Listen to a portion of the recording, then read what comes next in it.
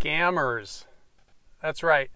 There are people out there who want to steal the hard earned dollars of drivers like you and me. And they go to some pretty great lengths to try and steal our money. In this video, I'm going to share with you two scams that I am well aware of. And stick around because at the end of the video, I'm going to share with you when I got scammed, did I lose a week's worth of commissions? Hey everybody, it is Jay Cradeur with the Rideshare Guy. All right. And today we're going to be talking about scams. Scams that uh, people think up in their head as a way to, rather than go out and earn their own money, they try and steal it from people like you and me. Drivers, we're out there working our tails off to make money for our families. And there are these scumbags, dirt bags who are trying to steal our money. So let's break it down. I'm going to share with you the two scams and then uh, give you some give you some uh, key takeaways. All right, scam number one I call the mid-ride cancellation. This is a pretty garden variety scam and nothing to get too worked up about. The way it works is you got a long ride, you're driving, and all of a sudden you notice that the screen your screen changes, right? And the ride's been canceled. So what the passenger has done is while they're talking to you and hoping you don't notice is they've canceled the ride uh, in the hopes that you're going to continue to drive them and, uh, and drop them off, and then they're going to pay nothing for the ride. So, what do you do when this happens?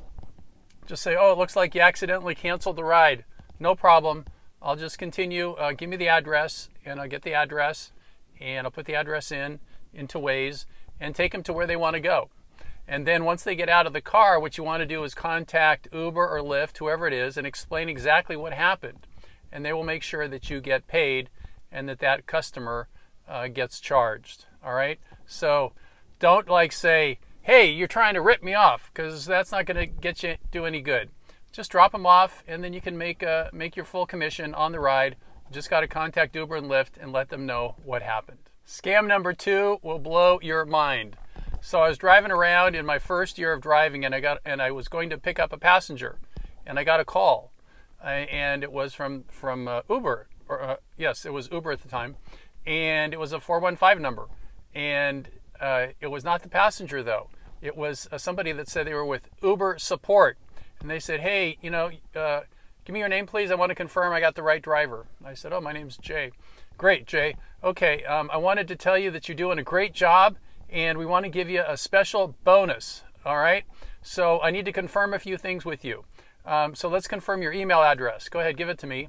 And I would say, oh, it's Jay, whatever it is. And then they would say, great, great, great. And then let me confirm, we want to make sure we got the right driver. Let me have your password. And boom, I did that as well.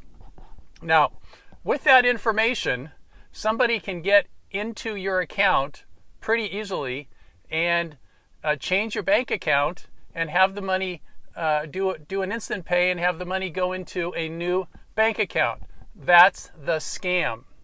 Now, as it worked out in my case, and this was about three years ago, um, uh, when there was a change in bank account, I got a, a, text message that said, please confirm that you're changing the bank account. And the person on the phone said, I just needed to hit, hit accept or type accept, I don't recall. And it was at that point that I said, this is bullshit, this is crazy. and I realized I was getting scammed. So I got lucky because I kind of realized wait, why would somebody be changing my bank account information? It didn't make sense at that point. And that guy called me three times in a row waiting for me to pick up, and I just ignored it, and that went away. Uh, somebody can easily go onto the websites and, uh, and make the change. So here we're looking at Uber. And once you've got the email and, and password, uh, you can go uh, right, right in the upper right hand corner there and do the pull down menu. And then you see it can say edit debit card. And then the next screen, you can change all the information. And boom, uh, there goes your money. And on the Lyft app, we can see again here, uh, you can hit edit, change the information, which I actually did this morning to test it out. And I did not get any kind of a, uh, you know, uh, verification uh, email or text. So somebody could have easily just changed my information and, and flushed money uh, into their account. So that's the scam. So, lessons learned. Do not give out any of your information. Uber and Lyft will never, ever ask you to provide your email address, your phone number, or your password. All right? They will never ask you to uh, verify something um, on your on your uh, phone. If you're talking to somebody and they're asking you for anything like that, just hang up. And in fact, get angry. That's what I said. I said, go boom yourself, you freaking a hole, and, and hung up. Because it happened to me three times. And the second time I knew what was happening, and the third time I knew what was happening. So I was just like unloaded on them.